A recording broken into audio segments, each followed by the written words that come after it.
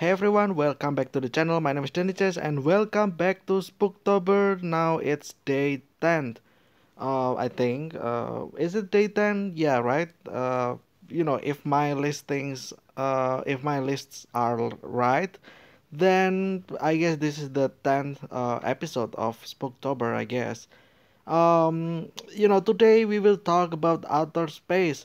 A few days ago, we talked about underwater, and then a few days ago as well, we talked about um, underground, which is the which was the uh, the catacombs of Paris, right? There we talk about uh, the deepest, uh, not really deepest, but more like uh, things that are underground, right?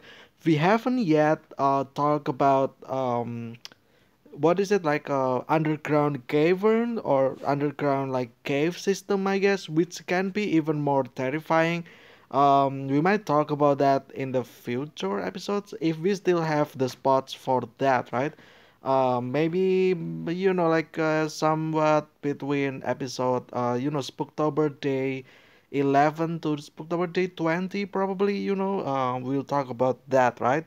Um but now you know since we go under and then we go under again uh you know we go uh, under the surface of something uh today why don't we actually explore upwards right? Going outer uh you know in specifically going outer space right? Um you know like seeing the scary things in the outer space right? But we you know uh, i search for things that is uh, like some creepy story i guess about uh, space but i didn't find anything uh, from wikipedia. I got directed here in outer space therefore let's just talk about outer space in general right? And then we might also like um imagine uh, about things that might be you know scary out there right? Um so yeah also we'll try to make this video like only 20 minutes if possible because i don't want to have like a longer uh, than 20 minutes video right? Um you know like ideally like 30 minutes is still okay i guess but uh, you know longer than that it's probably not great right? Uh, uh, okay let's just start i guess. Outer space commonly shortened to space is the expanse that exists beyond earth and its atmosphere. Um and between celestial bodies i don't know what that means celestial bodies. Outer space is not completely empty it is a near perfect vacuum containing a low density of particles predominantly a plasma of hydrogen and helium as well as electromagnetic radiation magnetic fields neutron neutrinos dust and cosmic rays. So it's more like um, particles right? Like things that are very very small. Um, okay the baseline temperature is um, the outer space as set by the background radiation from the big bang is 2.7 kelvins. Uh, okay minus 270 degrees and then minus 455 fahrenheit. Um, the plasma between galaxies is thought to account for about half of the baryonic ordinary matter in the universe, having a number density of less than one hydrogen atom per cubic meter and a temperature of millions of kelvins. Don't know what this means though. But yeah, local concentrations of matter have condensed into stars and galaxies. Studies indicate that 90% of the mass in most galaxies is in an unknown form called dark matter, which interacts with other matter through gravitational but not electromagnetic forces. Okay. Uh, observations suggest that the majority of the mass energy in the observable universe is dark energy, uh, a type of vacuum vacuum energy that is poorly understood. Okay, so we have dark matter and then dark energy, right? Um, okay.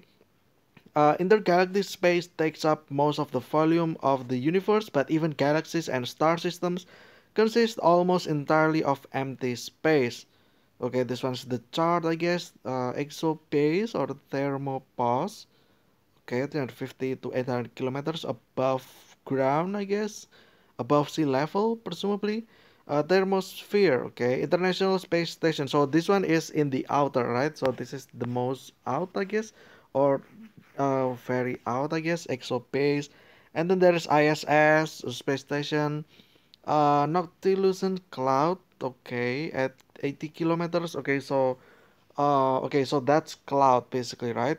Uh Kármán line 100 kilometers. I don't know what that means. Uh Aurora okay I guess this one right? The Aurora I guess. Um Mesosphere Stratosphere Troposphere. And then over there there's mesopause stratopause tropopause i guess it's more like the boundary right? Like uh i don't know like the limit i guess i mean it's not really a limit you know like you know if you go up there there is not really like a line or anything that oh you know will make you oh i'm in stratosphere. Oh there's a line. Then i pass the border.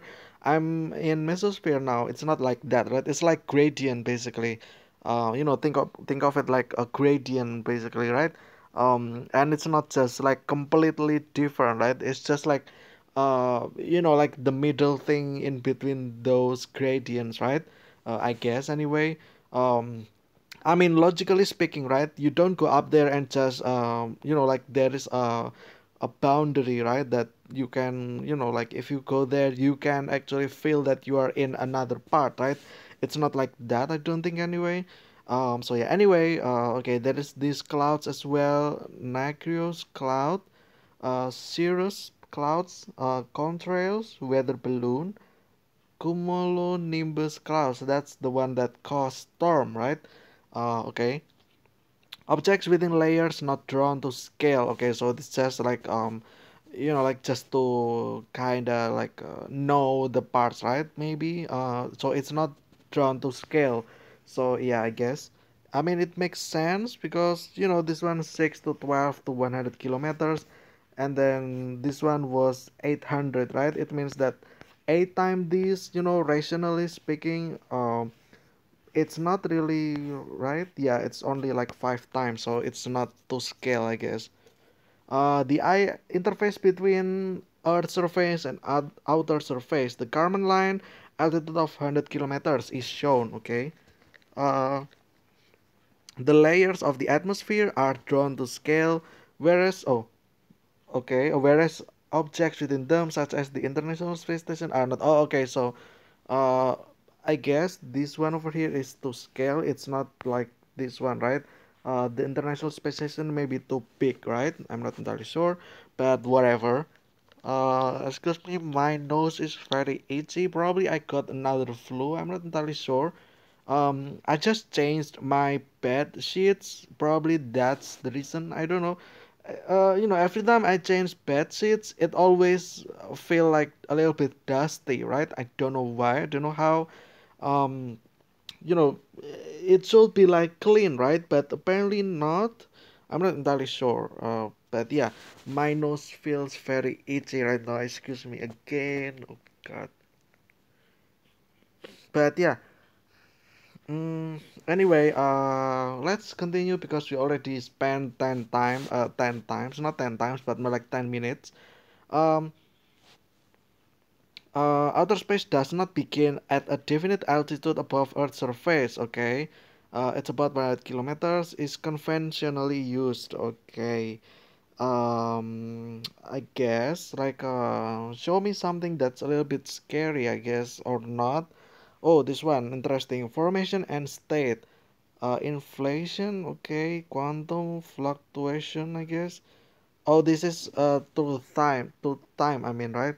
Like, um, in the beginning of time, I guess there's only one dot, which is the Big Bang, and then as the time goes on, it gets expanded, right? That's why it becomes this uh like uh the circle becomes bigger, right? Uh, I guess, and then this one is over here, I guess. Uh, all right. Um, uh, the size of the whole universe is unknown, and it might be infinite in extent. Uh, so that's very big, right? Which is why it can become scary, right? Like, you know, most of the space is empty space, right? Like, uh, you know, you don't just randomly found like I don't know, like a, a house or something like that, right? Uh, it's not like that, you know, like uh, even if you go from Earth to Venus or uh, Mars, the the distance is actually very far away, right? Like uh, you know um it's just that far away right? Uh and most of them is just basically empty space right? Which is scary right? Like uh you know imagine yourself like one kilometers away you know from the earth uh outer space right um and then you're just floating uh there in the space right? Which is a little bit scary to be honest. There's nothing over there. There is nothing uh, even there's no air right? Like you can't really uh breathe air right? Because all the air that uh, might have you might have been existing um maybe through the gravitational they got sucked into uh, all the planets right and uh, the gas that is in the planet don't just go away out in the outer space right? Uh, because of the gravitational pull therefore they, they stay on earth right? Uh, i guess in general if we technically speak about uh, planets in general right? Like uh, they are consisted of uh, atmosphere right? Uh, and one of them um, and atmosphere don't just uh, like go away right? They will try to stick in close to the gravitational uh, pull of that planet right? Um, therefore there is the gas uh, that construct this whole atmosphere right? Uh, but yeah there's that i guess. Um is there anything else that interesting over here? Like a random fact? I am not sure i guess. Um energy density of the present day universe at the equivalent of 5.9 protons per cubic meter including dark energy dark matter and baryonic matter okay? Uh, the atoms account for only 4.6% of the total energy density. Um, you know we're talking about density right? It, mean, it means how dense it is right? And it's only 4.6% uh, i guess well not really it's just the atoms right? But more like 5.9 protons per cube right? So it means that um like 99% of it is just an empty thing right? Uh, is that right? Maybe maybe i'm not right but uh you know technically speaking most of space is just empty space right? Um and you know like how far away it is from one planet to the other one uh you know like uh you know thinking about space in general right? Like uh in solar system right? What what is the nearest solar system uh from us right? We i mean someone know right? Maybe you guys know but i don't. So yeah.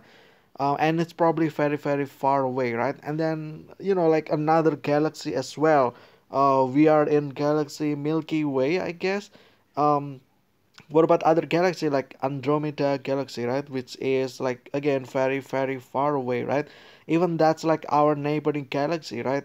And you know to go to andromeda anyway we will probably will meet a lot of solar system first. And maybe like hundreds of thousands of them maybe millions of them i'm not sure. But you know like again uh and we know that its planet uh like you know go to mars anyway speaking it's a very long distance right? And that's just planet it's not a solar system. And then you know like to from one solar system to another solar system like independent solar system which you know there uh, all the planets don't um, like got distracted by other solar system right? Uh, it will be very far away right? Um, and then we will see that like a hundred thousand times or million times of that until we eventually meet uh, another galaxy which is andromeda right? And that in itself it means it just means that it is you know like it's scary basically how um how secluded we are right on earth. You know if we look up in the sky right from other objects in the sky right uh, or in the space in general uh, you know we might think that yeah in on earth there's a lot of stuff going around right? Like uh you know you can meet other person like maybe after 10 meters of walking right? Maybe you can find someone else. Um you know 10 meters 100 meters but it's just like a short distance right? Uh you can meet people easily right? But this one if we're talking about planets to planets it's the distance is just disgustingly very far away right um and it's kind of scary in itself because it means that is it true that everything is just empty? You know there's also speculations about dark energy right? There's also dark matter as well you know uh, i don't think it's scientifically proven just yet. Uh, maybe it has uh, maybe i'm missing something but i don't think it's actually like you know everything that uh, talks about dark energy anyway um it's just uh, to the limit of uh, like presumption right? Like an assumption of research. Yeah like look at this right? Uh this might look very uh you know very close right? But the fact that from you know like this one over here to another galaxy over there um it's just very very far away uh you know um it will take uh like light years away right? Um maybe million light years away who knows right uh, I mean, you guys probably know, right? I don't really understand much about this anyway. Oh, I didn't mean to do that. Um, but yeah, uh, this is basically what I'm saying, I guess. Like, um, you know, about planets, right? Effect on biology and human bodies. Oh, there's an astronaut over there. Because of the hazards of vacuum, astronauts must wear a pressurized spacesuit. Spacesuit, I mean, while off Earth and outside their spacecraft um i guess yeah like i said again there's no air there therefore you cannot breathe right? There's also no pressure. It means that um you know your body will probably suffer um like you will implode or feel the necessary of getting explode right? Uh because you know you are on one uh one atmosphere right? So if you are at zero atmosphere kinda then you will feel that uh, your body is getting pulled right? I don't know how like how hard it is getting pulled but i can only imagine right? Because you're getting pushed uh like you you usually you know well not usually you always get uh pressed by the earth atmosphere which is one atmosphere right? Um if you don't get pressurized it means that you will feel the reverse way right you will feel your stuff getting pulled basically. So you know it's like uh, a very scary feeling right? If you ask me. Uh, despite the hardest environment life forms have been found that can withstand extreme space conditions okay? Species of Li- lichen i guess? Lichen lichen lichen? Carried on the esa biopan ex- uh, survived exposure for 10 days in 2007 um honestly um withstanding extreme space condition i don't think you can conclude that as that. I mean these guys are researchers right? And i'm just a random dude on internet anyway.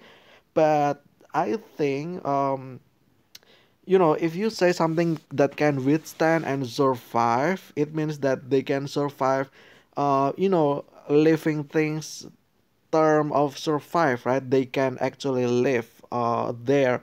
But in this case because they only like survive for 10 days that's barely nothing right? That's just a little bit over of a week. Can you say that that they are survive?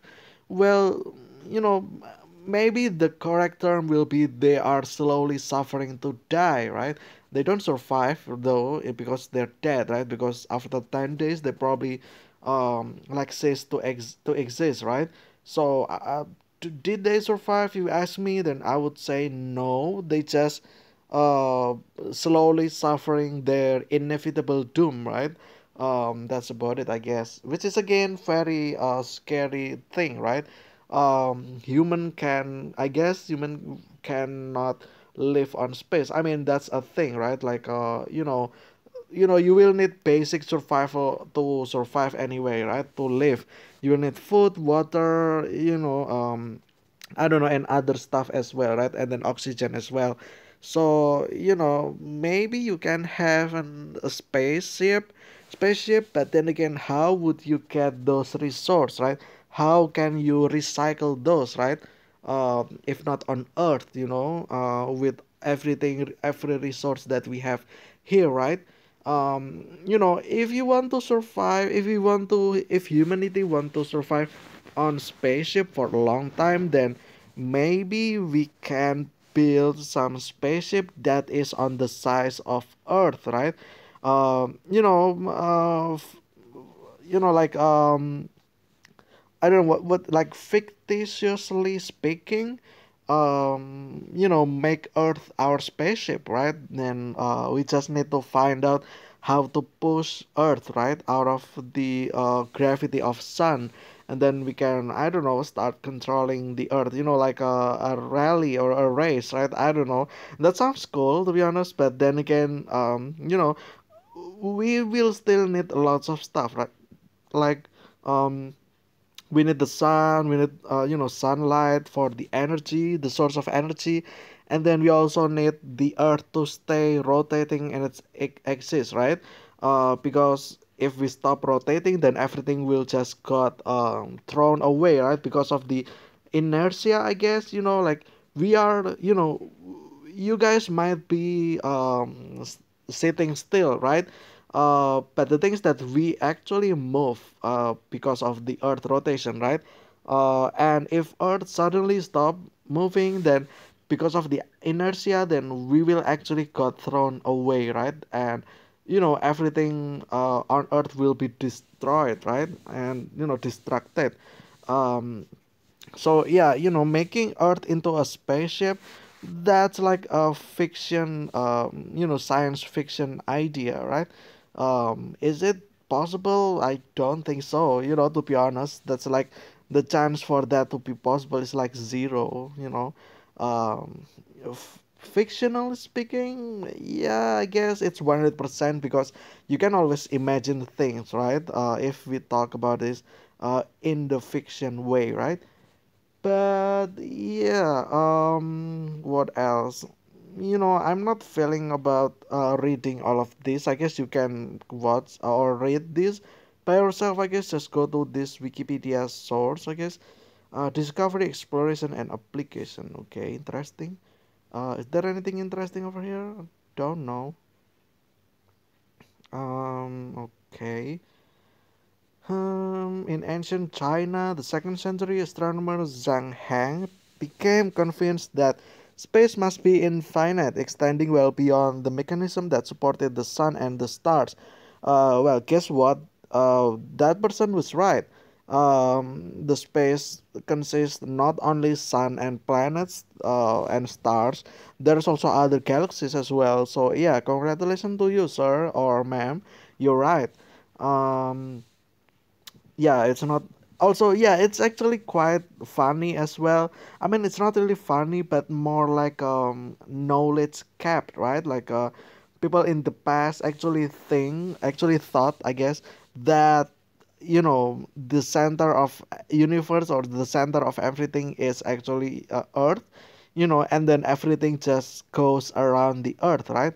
Until you know years later our technology came and then we we figured that we actually are not the center of things we just rotate. The universe um stays still.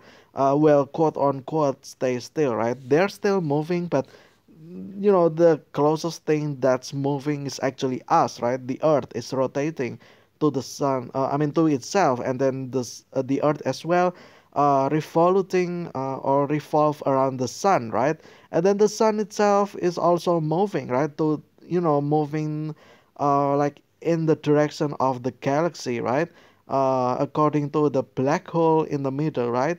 So yeah i guess everything is moving and then the galaxy in itself um, with the black hole in it uh, as in the center i guess everything um, is like you know the whole galaxy also moves right? Because of the gravitational pull from other galaxy you know like maybe andromeda. And if i read it right i think we will actually have a collision uh, with andromeda. So you know like uh, yeah like we will hit each other basically. And then uh, through the model i think that people create we will actually form a singular galaxy. So yeah with uh, you know with uh, that beautiful motion that you can always find in the internet right? Uh, but yeah it's still interesting i guess um, how far our technology become uh, throughout the time right? Throughout the history of human. And i think like um like close I what is it called again? Like uh, recently I think we know that um the I think the NASA NASA or something like that has the image of from the what is it like a telescope, right? Which is a better version uh of the picture that they took way back in the day, right? So you know that in itself is already showed how advanced our technology is, right? And it will just keep growing. It will just keep improving. Maybe later we can actually see something more closer, right? Like uh, I don't know, like enhance and see that you know there's a lot of uh, stuff maybe we can actually find uh, any other living form right in the other space maybe they already did you know this is like one of a conspiracy as well that i think uh, maybe they already know that there is actually something or someone out there living in a planet but they try to uh, keep it as a secret to everyone just so that you know we don't try to um engage to communicating with them right? Maybe right? Uh, it's just a conspiracy theory i guess. Um you know that there's actually alien but um you know they try to keep it secret so that we don't do anything uh stupid to them right? And start a galactic uh war or something right? Like a interstellar uh, war right we don't want that and yeah uh which is an interesting conspiracy to be honest. Like uh maybe they actually already have a telescope that can zoom in to the planet to the surface and then they found that there's actually a population of aliens right? Um which probably is more advanced than us or maybe they are like still in the caveman right? But then again that's just a theory i guess uh but yeah anyway i think that'll be it for today's discussion about outer space. Uh i know this one is not that scary because we don't really see any imagery right? Um but yeah i guess um it's still a spooktober because i think that there can still be potential things that can become scary right? Just the fact that the space is very wide and then very uh you know distant with one with another you know just how empty it is the emptiness it just feels scary in itself right um so yeah I think that will be it for today's discussion uh, of Spooktober Day 10. I hope you guys enjoyed. I will see you again tomorrow with another discussion. Stay safe, stay healthy, and I will see you again very, very soon. And see ya.